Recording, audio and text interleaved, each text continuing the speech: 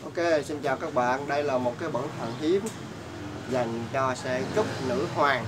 Rồi, bây giờ mình đang có một cái duy nhất nha. Thì đây à, tình trạng là không nứt vỡ, chưa đánh bóng, còn nguyên xi nha. Rồi. Nó còn nguyên.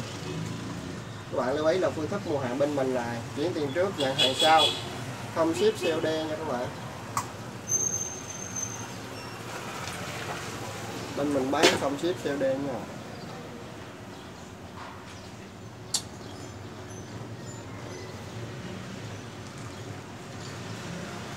Để tránh trường hợp là kẻ xấu lợi dụng là phỉnh rồi à, gửi hàng đi rồi hàng không nhận rồi hàng trả về rồi mình phải trả tiền cước hai ba vòng. Đã có một số bạn nói là còn người cũng lớn tuổi chứ không có nhỏ. Nói ừ, ừ, ừ, ừ anh uy tín lắm anh mua anh mua rồi chị gửi hàng đi rồi, rồi anh lớn không lẽ anh lừa gạt em gì tụi luôn bú xua?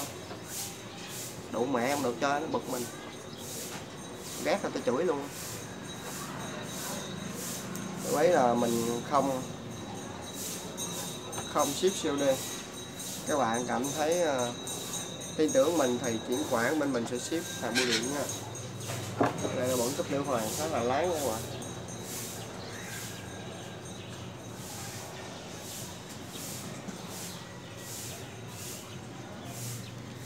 rồi, các bạn có nhu cầu lấy cái bẩn cấp nữ hoàng lại liên hệ với mình qua số điện thoại bên trên nha. Dạ điện thoại. Đây. Ok, số điện thoại là 0982 116 306 nguyên tắc mua hàng là chuyển khoản trước nhận hàng sau không ship COD các bạn nhớ bấm vào nút đăng ký phía dưới để theo dõi ờ, cái video của mình. Gọi là mỗi khi mà có sản phẩm độc lạ ra thì các bạn sẽ lấy được liền nha. À, có nhiều người hỏi tại sao mình không báo ship COD thì giống như mình đã nói rất nhiều lần rồi. Là có nhiều khách nhiều lúc mình gửi hàng đi hàng đi giữa chừng này xong cái khách nó không nhận xong hàng bay về. Thì lúc đó mình đóng tiền cước. Nó như vậy cái là gửi cái bẩn này. Ví dụ như gửi những cái phần những cái, cái những cái linh kiện nào mà nó nhỏ nhỏ tiền cước nó năm mười ngàn nó không có đáng. Nhưng mà gửi cái bẩn ra đi tiền cước nó tới trăm mấy lần trăm mấy hai trăm. Tại vì mình phải bỏ vô cái thùng xốp bự mình gửi đi chứ không phải mình để vậy.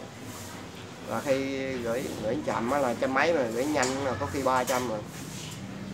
Thì nếu mà các bạn gửi đi và không nhận nó quay về tiền cước hai dòng là 600 thì ai trả?